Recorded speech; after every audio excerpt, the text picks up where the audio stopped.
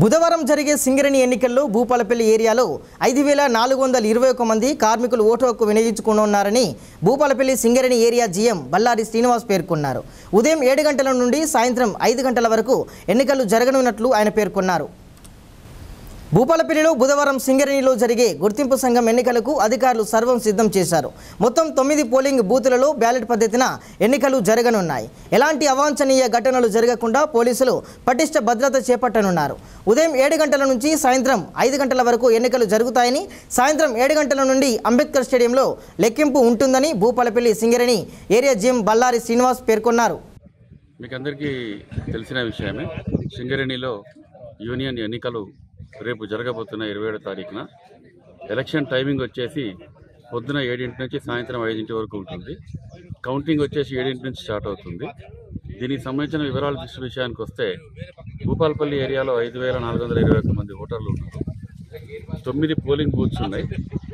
తర్వాత అలాగే counting centres కూడా ఇక్కడ మనము స్టేడియంలో ఏర్పాటు చేయడం జరిగింది.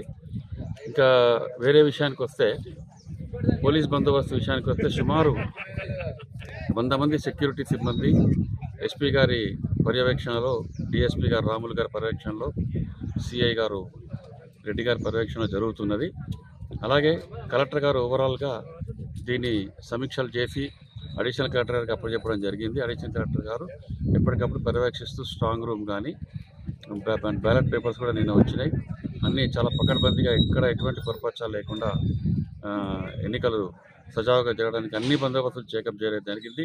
పోలింగ్ బూత్స్ కట్టడం అయితేనేమి నిర్వహించడం ఎవ్రీథింగ్ అలాగే మా చైర్మన్ గారు ఆదేశాల మేరకు డైరెక్టర్ పర్సనల్ బలరాం గారు డైరెక్టర్స్ జిఎం పర్సనల్ హనుమంతరావు గారు అందరూ కూడా ఎప్పటికప్పుడు సమీక్షలు రోజుకి రెండు సార్లు సమీక్షలు నిర్వహిస్తూ మొత్తం కంపెనీ వైడ్గా అలాగే భూపాలపల్లి ఎక్కువ మంది కార్మికులు ఉండడం దృష్ట్యా ఎక్కడ ఏమాత్రం పొరపచ్చాలు లేకుండా ఎన్నికలు సజావుగా నిర్వహించడానికి అన్ని రకాల బందోబస్తు చేయడం జరిగింది.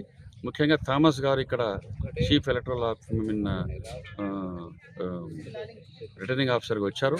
వారి యొక్క టీం ముగ్గురు నలుగురు వచ్చారు. వారందరూ కూడా ఇక్కడ బస చేయడం జరిగింది.